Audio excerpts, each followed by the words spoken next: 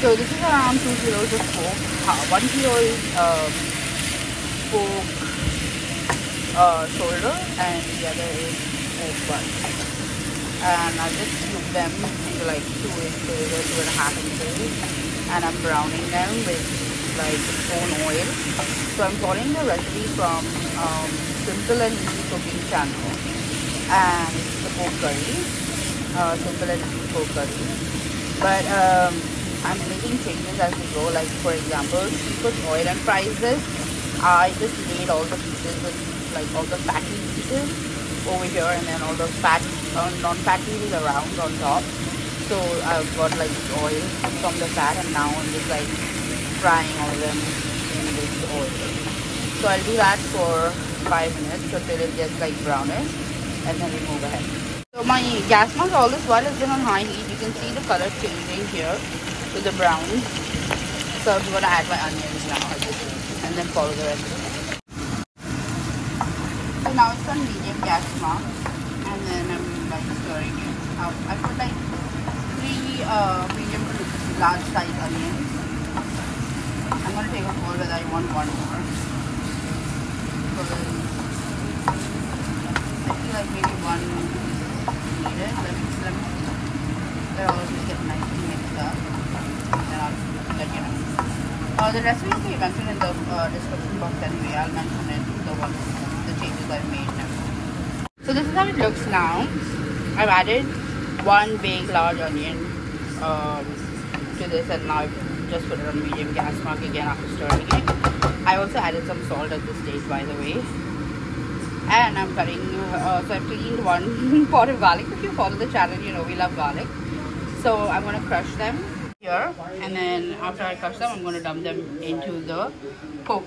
Now while I'm adding the uh, the crushed garlic I'm adding also the turmeric. Obviously I've added more than what she's added because like you know we love turmeric too so it's really good for health and I always put more when I'm making non-vegetarian Okay so now I'll see you towards the end it unless I make any changes on the way.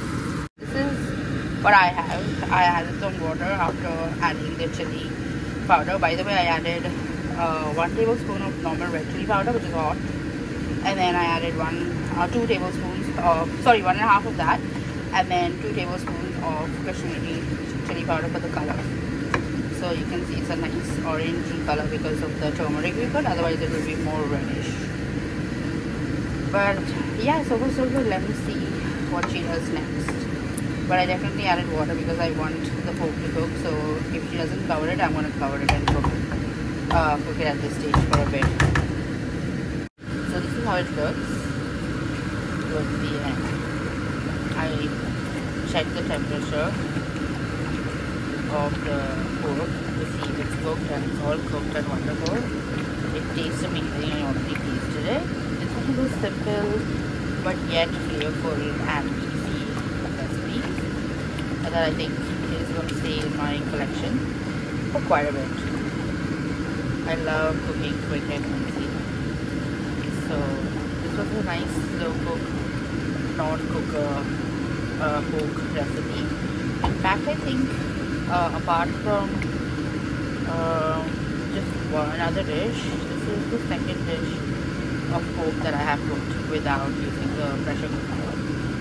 So yeah please try this recipe and enjoy it. Thank you for watching. So here it is ready. I'm ready to eat it with some roti or paratha. They taste amazing with roti and paratha. Also with rice, but I prefer it with roti. Delicious curry. A nice slow cooked pork. Easy curry. This is how it is with rice. I love it with um, the layered paratha as well, but it's really nice with rice too. It's an amazing curry. It's mildly spicy, like maybe medium spicy, between mild and medium. But then you can control it on the chili powder, so you can put less chili powder. And I really like the flavor of the meat because we slow cooked it for so long without the pressure cooker. It really tastes amazing. So definitely give this a try.